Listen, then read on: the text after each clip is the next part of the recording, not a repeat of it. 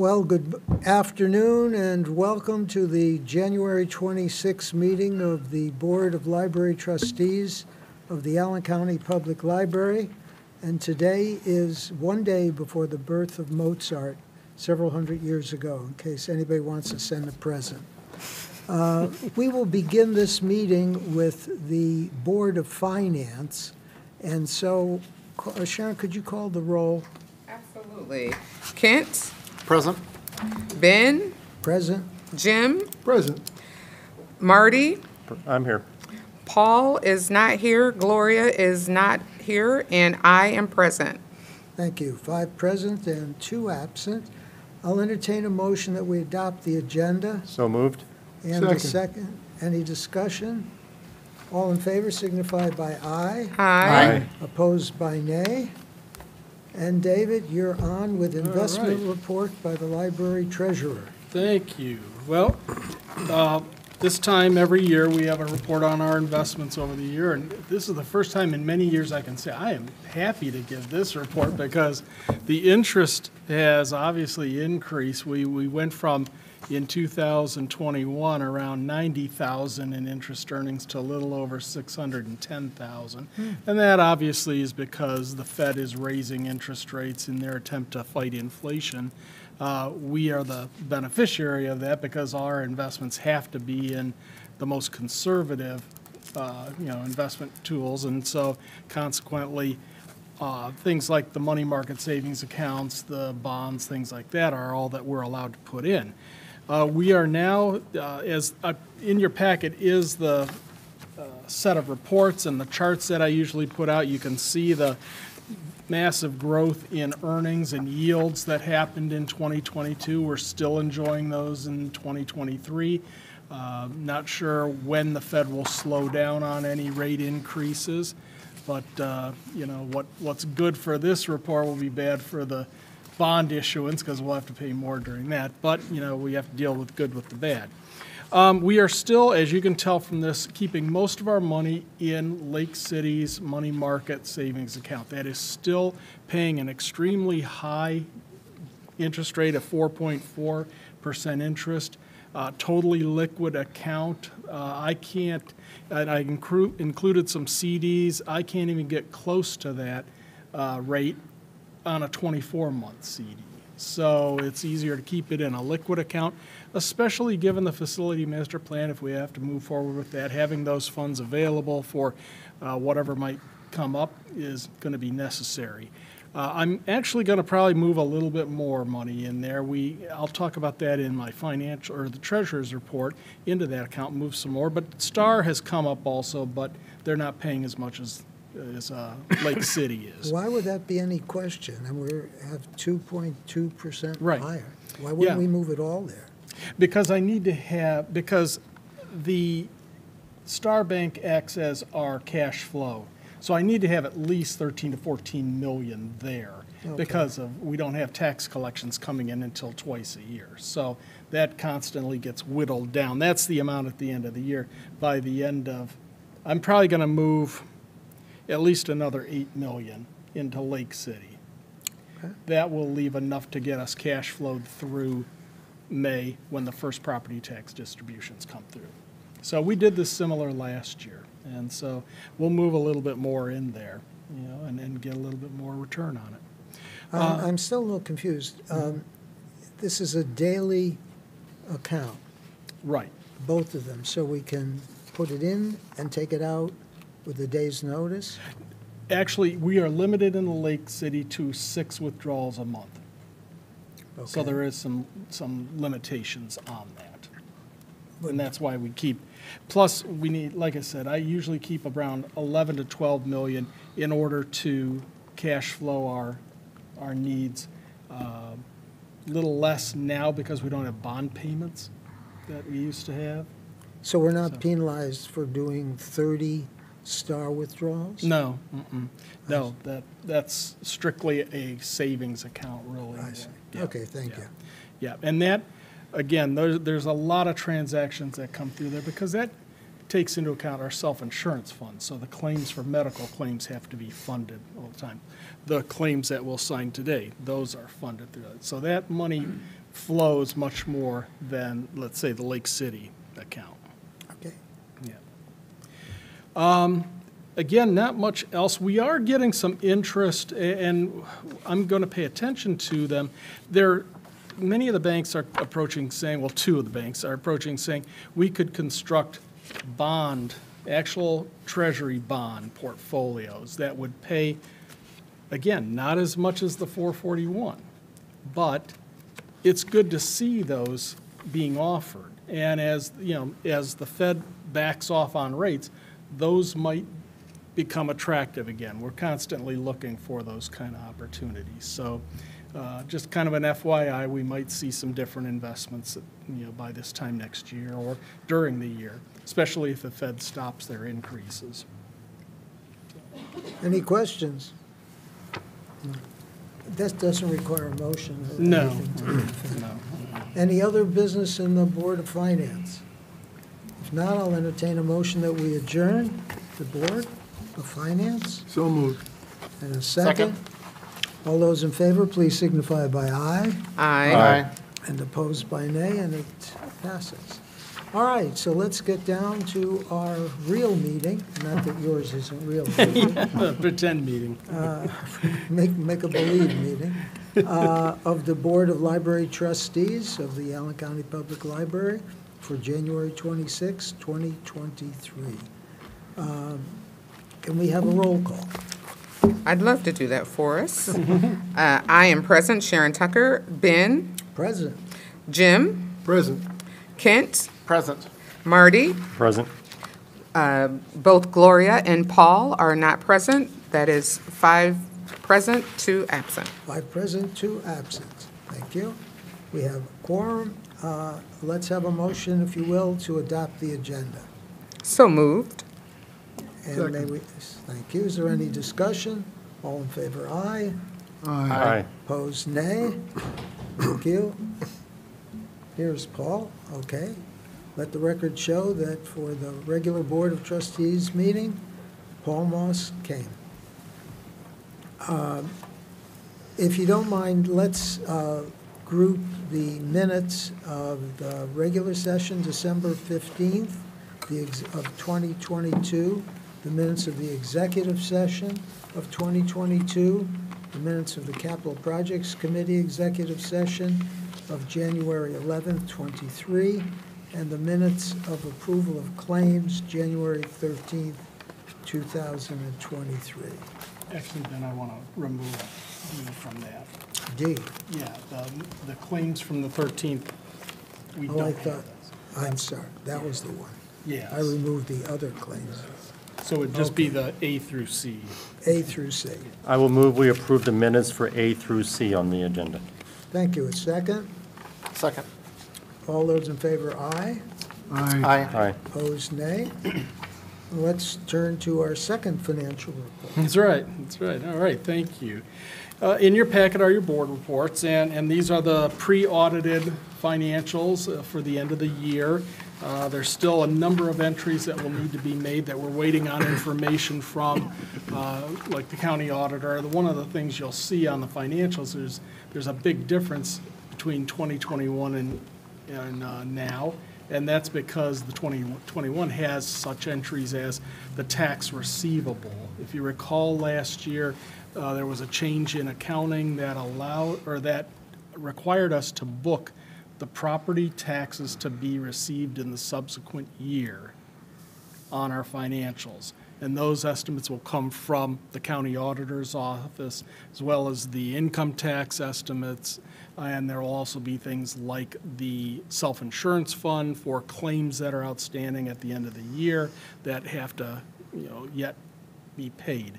So there's some large ticket items that will be coming, you know, in February is when those numbers usually, so the final statements will be adjusted, but these will give you an idea of where we stand, uh, you know, as far as true expenses and, and revenues. Some of the highlights that I'd, point out would be um, that because of the uh, increases in assessed value, uh, we continue to see the benefits of that, primarily in, let's say, tax caps. Tax caps came in about 200,000 less than what were estimated in 2022 because assessed values rose, so more people were uh, above their cap limit. Uh, Same with income tax. The good economy led to the state again issuing an excess amount. This is an amount that, uh, even though they certify a share during the year of the budget, the actual tax collections for income tax come in much higher. And when that gets to be above a certain percentage, they have to distribute it. That was a $499,000 additional income tax item. I already mentioned during the finance report, we had close to 600,000 in interest that came in uh, versus the 90,000 in the prior year. Um, And then uh, self-insurance, we continue to do well there. That is, the expenses, uh, revenues exceeded expenses by almost 1.1 million. We currently have 7.5 million in that fund. Annual claims, as you can see from the financials, run around 3.35 million. So we've got close to two years' worth of coverage in that. And that's one of the reasons, if you recall back to the budget discussions, why the auditors had suggested backing down a little bit on our amounts going into that fund. And so that, our 2023 budget reflects that by about $800,000. We've uh, scaled back the contributions into that fund. So that's a good one. The one, um, I don't want to say bad part, negative part, is, uh, as you can see, Access Fort Wayne, the, the TV services grant, uh, because of the revenues that come in from the franchise fees have been declining for years, uh, we are now at a point where this year, the revenues did not cover expenses, and so. That's Comcast fees? Uh, it's Comcast, Verizon, it's the, the franchise fees for the cable access. I see. That grant, the grant money that uh, comes in on your little, bi- your, the amounts on your bill that all get accumulated. Um, So we had to, they were short about eighty-three thousand this year, and so that had to be covered by the general fund. Uh, Norm, I'd have to ask him, but the grant, these are people who are using less and less cable. That's the, you know, streaming services, the things that, things like that. That's I the know primary franchise cost. fee hasn't gone down on, No, no, but less users on it, yeah, yeah. makes sense. Right. So, uh, as I said, those are some of the highlights. As the, the final numbers come in, I will bring revised numbers to you for the end of the year. But that's some of the highlights of the year. Obviously, what I mentioned in there, there's, uh, we did all of the budget transfers from December. All the lines look fine at this point. Nothing to report.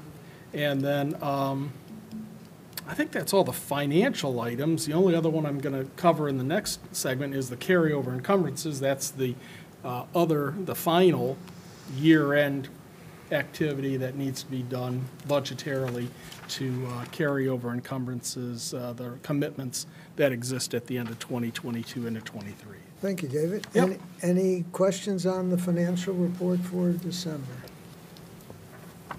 Well, let's move then to item five, the approval of claims. I think we do have to accept the financial. Oh, I'll make a let's- motion to approve the finance report. I keep forgetting. Okay, is there any discussion? All those in favor signify by aye. Aye. Opposed by nay, and now the approval of the claims. And these are actually, like I said, why I removed section, or the minutes from the approval of claims of January 13th. We've combined it into this one uh, register, so this has both the 13th and today's claims. Total of around 3.9 million. The largest ones this time are uh, employee premiums, 301,000. Uh, Trane, uh, our, our HVAC main contractors at 297,000. And then, uh, I was hoping I wouldn't see this one, but snow removal, 85,000. So, uh, those are just some of the larger ones. The, the largest ones obviously also include library materials. Sure. Yeah, so, So can I have a motion that we approve the claims as distributed? So moved. Thank you. And a- Second. Thank you. Any discussion? All in favor, please signify by aye. Opposed- Aye. Opposed by nay.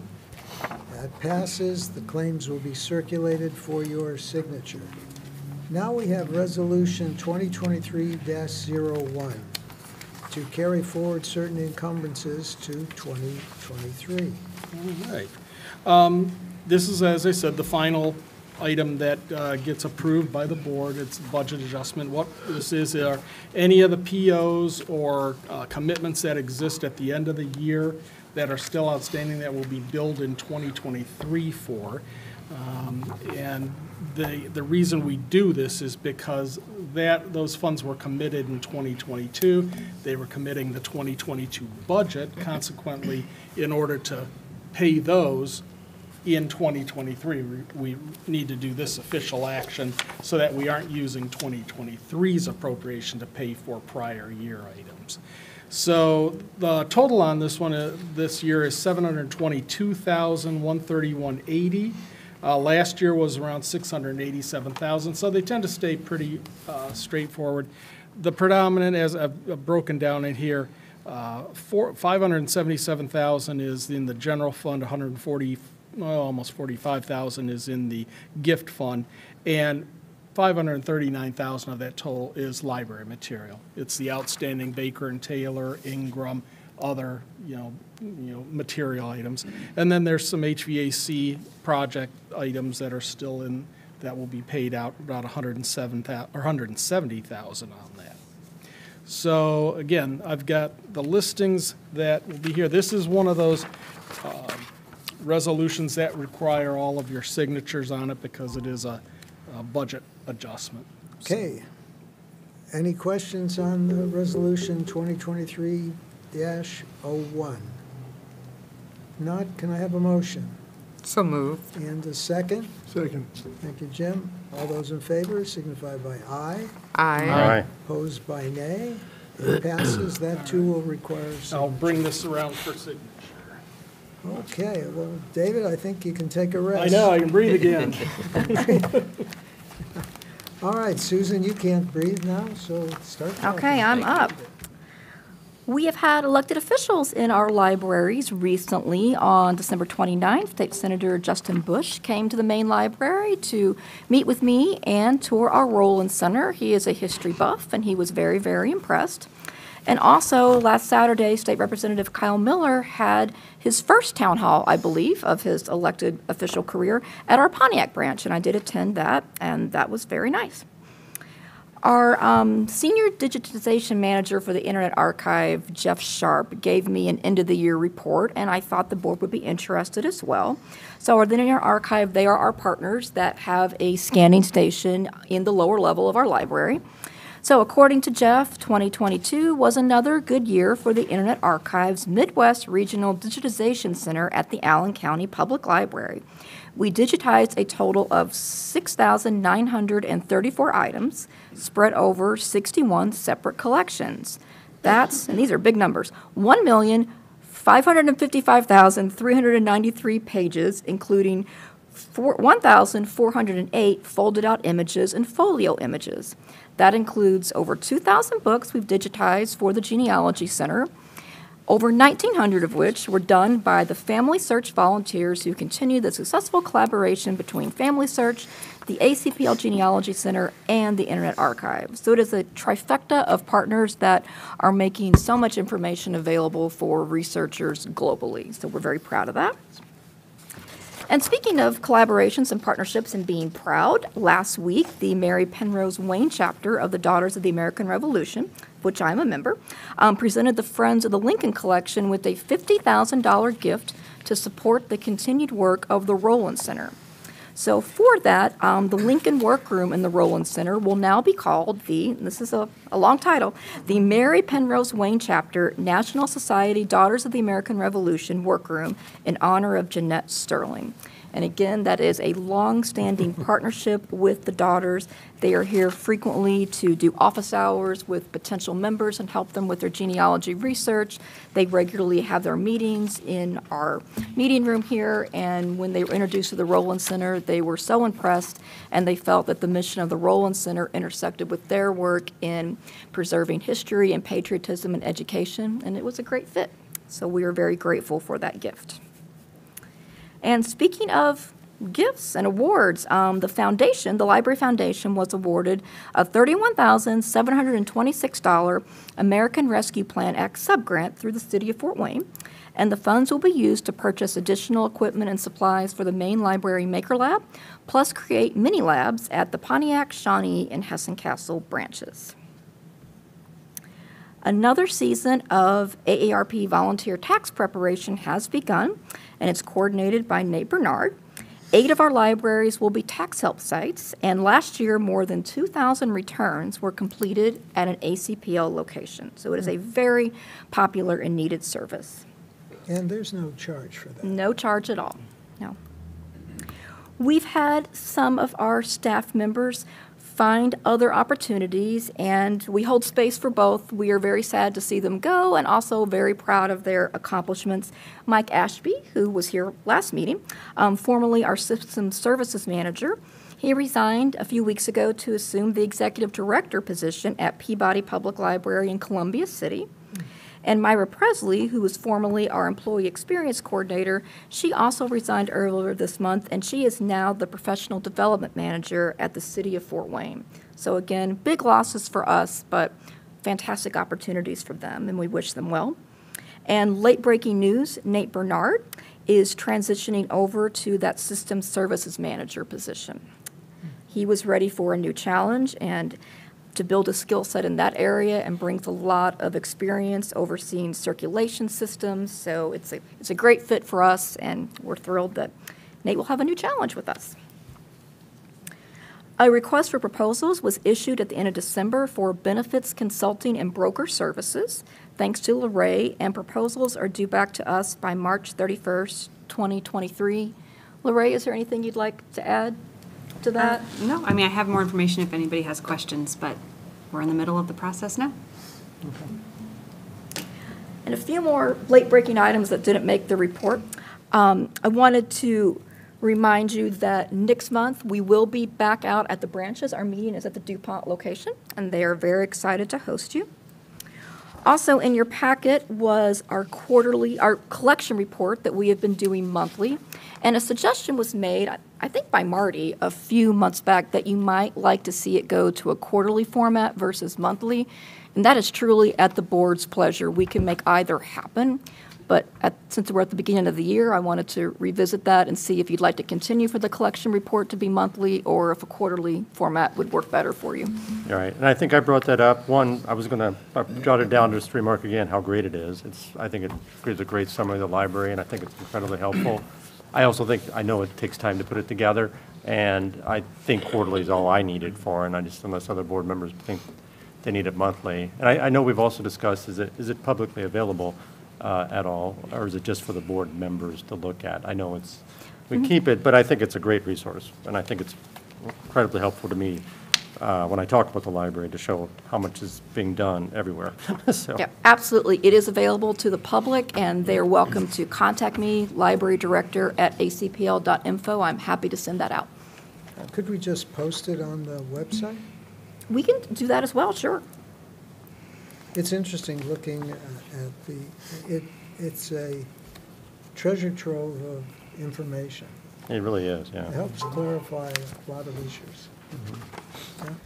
Does quarterly still work for, ev- does monthly work for everybody, or quarterly? It's, it's really up to you. I, I am not opposed to you going quarterly if it doesn't mean that you guys are going to try to, um, I think Marty's suggestion was to try to make it easier for you guys on what you have to put together. If you're still going to put three months of information in one packet, then monthly spreads that work out. So I'm, for me, quarterly is fine if it doesn't add more work in one period of time. I've talked to the staff who prepare it. It's really six in one hand, half a dozen in the other for them, whatever you'd like. Okay. I mean, mine was just trying to save you guys time, so. uh, Who's in favor of quarterly? Raise your hand. Who Quarterly wants it sounds good. monthly? Who wants it daily? We can do that, too. Looks like quarter wins. Okay, that's great. And one more comment of note. So speaking of quarterly, you also received in this packet the quarterly manager's report, um, which is also available on our website or will be soon. And I encourage you to take a look at that because it is also a treasure trove of information. And I wanted to specifically mention some of the happenings at our Georgetown Library. As you know, our Georgetown Library benefits from a very large and robust after-school audience from the local middle school, and we are always looking for new and exciting ways to keep them engaged. And this last semester was a pilot program for an after-school program that was spearheaded by our teen librarian there, Kara Sims. And the semester at Georgetown, they offered that after-school program for 88 days. And each day, they had an average attendance of 28 students for an overall total of 2,448 children in attendance throughout the semester. And for the students who were part of that program who had their grades improved, they had a wrap-up party sponsored by us at the Georgetown Bowl on the last day. So they had bowling and pizza and all kinds of fun. And as we go into this next semester, we're still looking for best ways to serve this group. And in a few days, we are going to have a parents' meeting at the Georgetown Library to get feedback from the families who are using it after school. And Beth, did you want to add any comments about that? Sure. Um, We're seeing a robust use of our after-school program, but also many, many students who are still visiting the library without participating in the after-school program. So we really have two populations of students after school. And the parents' meetings are, will will be designed and open for all parents um, in the Georgetown area. Um, We've been specifically collaborating with the Blackhawk Middle School administration, and uh, the principal there will be inviting all the parents of Blackhawk Middle School students to these meetings. But the idea is to talk about longer-term solutions um, for after-school opportunities um, to build on what the library is already doing. Um, We have been discussing with the Boys and Girls Club whether uh, a location out in that part of town would be an appropriate next step that could provide uh, greater growth opportunities for the students in a, maybe a, t- a space that's more tailored for students um, for that after-school time. So we're looking forward to getting parent uh, feedback about what's happening now and interest in what might be happening in the future to help guide us as we make plans going forward. That's got to stress the capacity of the building, too. Yes. Absolutely. It's, yes. Okay. That's all I have. Well, thank you. Any questions of Susan on her report? Very good report. The format of this, uh, what, maybe it's laid out graphically differently, but it's, it's very pleasing. Thank you, thank you. It has evolved along the way, um, but that's great praise. I will take that back to Kara in our marketing department, and Elena also helps with that. Good, thank you. Are there any items of new business that should be brought before the body?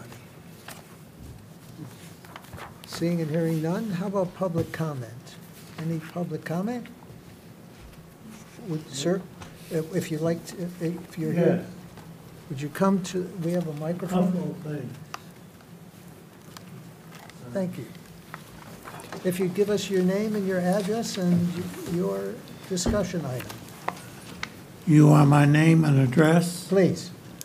It's Charles Lim at 4002 Dalewood Drive, here in Fort Wayne. Thank you, sir. And what would you like to share with us?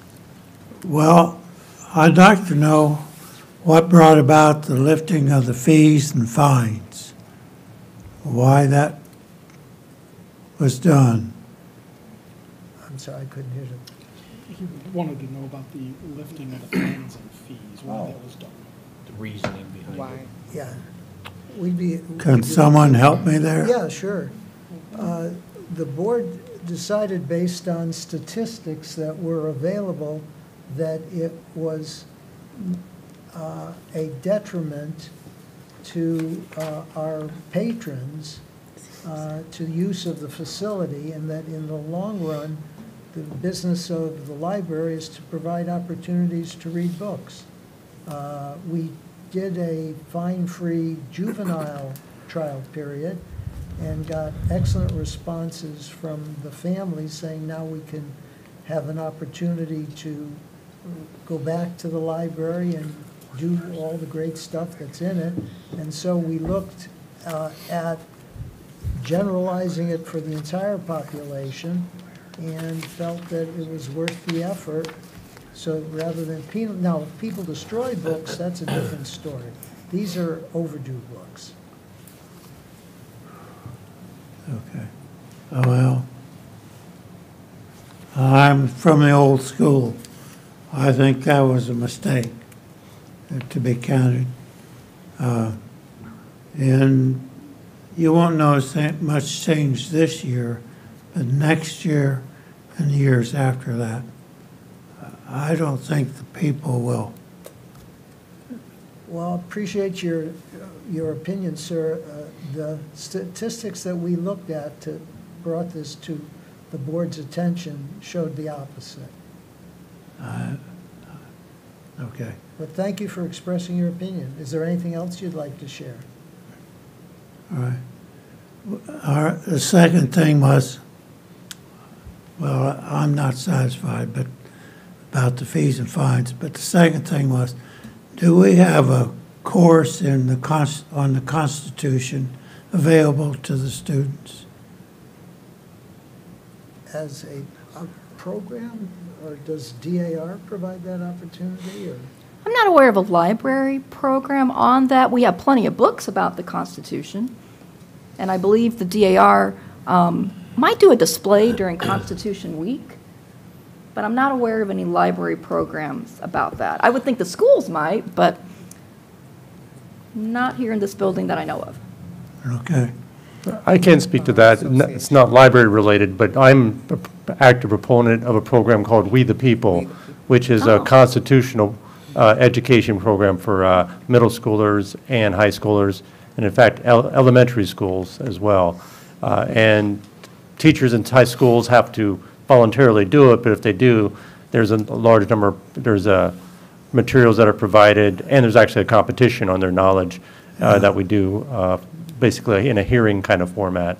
Uh, But I'm all in favor of learning the Constitution and teaching it more, because Well, I I have a it's, set of DVDs uh, of a full course 101. Uh, It was uh, provided to me from Hillsdale College. You've probably heard of Hillsdale College. Yeah.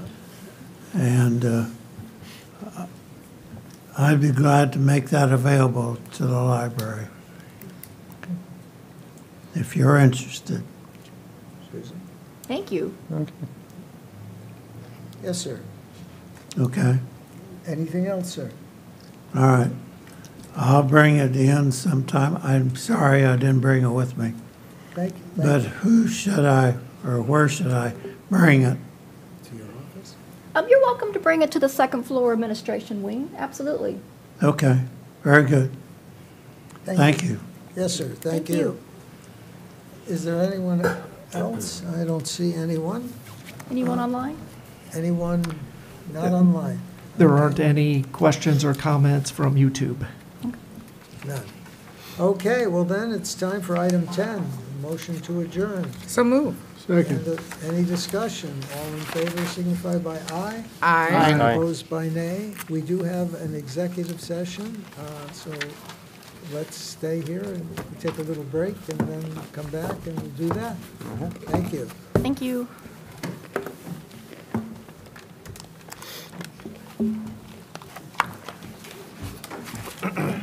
Paul Joel is going to be down in just a minute to have you sign some paperwork.